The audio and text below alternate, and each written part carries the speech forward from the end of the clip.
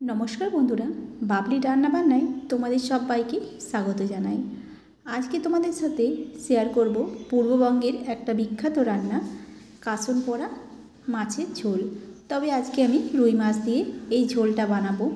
একঘেয়ে আমি মুখে স্বাদ বদল করতে এই মাছের ঝোল কিন্তু বেশ ভালো লাগে।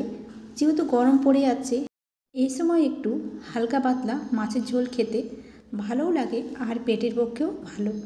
তো এখানে দেখো নিয়ে নিয়েছি আমি রুই মাছ। মাছগুলোকে ভালো করে ধুয়ে নিয়েছি। ধুয়ে এখন নুন আর হলুদ দিয়ে একটু মাখিয়ে রেখে দেবো।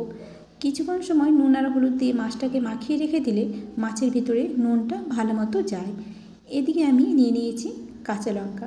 বেশ কয়েকটা কাঁচা লঙ্কা মধ্যের দিকে আমি চিড়ে নিয়েছি আর নিয়েছি ছোটো চামচের হাফ চামচ কালো জিরে প্রথমে বড় চামচের এক চামচের মতো সর্ষে নিয়েছি।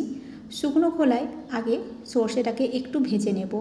সর্ষেগুলো যখন একটু ফুটফুট করতে শুরু করবে, তখনই কিন্তু সর্ষেটাকে নামিয়ে দিতে হবে। কারণ খুব বেশি ভাজা হয়ে গেলে সর্ষেটা তিতা হওয়ার ভয় থাকে। এখন আমি সর্ষেটাকে নামিয়ে রেখে দেব। এদিকে দেখো, কড়াইয়ের মধ্যে দিয়ে দিয়েছি আমি সর্ষের তেল। রান্নাটা অবশ্য করেই সর্ষের তেলেই করতে হবে, যেহেতু মাছ আর এই রান্নাটা সর্ষের তেলেই ভালো যায়। সবার প্রথমে আমি মাছগুলোকে একটু ভেজে নেব। এখানে মাছগুলো প্রায় ভাজা হয়ে গেছে। এখন মাছগুলোকে নামিয়ে রেখে দেব।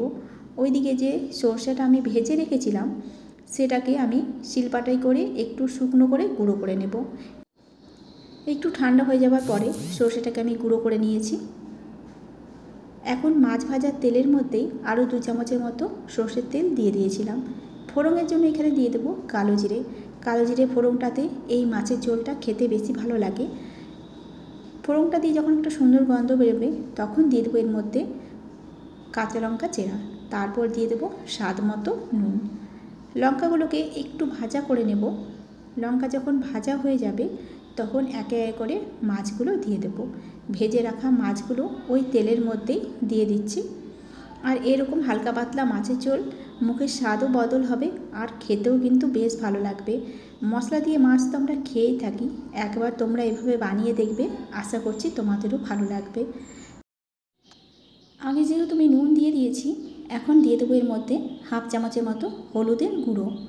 এরপর ভালো করে আমি মিশিয়ে নেব। এখন এর মধ্যে দিয়ে দেবো সামান্য পরিমাণে অল্প জল। যে যেরকম ঝোল খেতে চাইবে সে সেই হিসাবে দিতে পারো। আর এটা যে কোনো মাছ দিয়েই করা যেতে পারে। যেমন কাতলা মাছ, বাটা মাছ, যেসব মাছগুলো আর কি কালো জিরে ফোড়ন দিয়ে করা যায়, সেই মাছের ঝোল কিন্তু এই রকমভাবে তোমরা করে দেখতে পারো। ঝোলটা যখন একটু ফুটে যাবে, তখন একটু নাড়াচাড়া করে নিলাম। এরপর দিয়ে দেবো এর মধ্যে আগে থেকে যে ভেজে রেখেছিলাম সর্ষে ভাজাটা সেটা উপর থেকে দিয়ে দেব। আমি ঝোলটা ঠিক এতটাই রাখব, এর থেকে বেশি ঝোল রাখব না। এরপর সর্ষে গুঁড়োটা উপর থেকে এইভাবে ছড়িয়ে দিয়ে দিচ্ছি। এখন ভালো মতো মিশিয়ে নেব। সর্ষেটা দেওয়ার পরে খুব বেশি এটাকে রান্না করা চলবে না। কিছুক্ষণ ফুটিয়ে আমি গ্যাসটাকে বন্ধ করে দেব। যেহেতু সর্ষে খুব বেশি ফোটালে তেতো হয়ে যাওয়ার ভয় থাকে। কিছুক্ষণ ফুটে গেছে, এবার উপর থেকে দিয়ে দেবো একটু কাঁচা সর্ষের তেল আর দেব দুটো কাঁচা লঙ্কা। এতে করে মাছের গন্ধটা আরও সুন্দর হয়। এখন দিয়ে দিচ্ছি একটু ধনে পাতা কুচোনো। ব্যাস, তৈরি হয়ে গেল। পূর্ববঙ্গের একটা বিখ্যাত রান্না কাসন পোড়া ঝোল। আজকের রেসিপি তোমাদের কেমন লেগেছে অবশ্যই কমেন্টের মাধ্যমে জানাবে। আর যদি ভালো লাগে, তবে ভিডিওটাতে একটা লাইক দিতে একদম ভুলবে না। দেখা হচ্ছে নতুন কোনো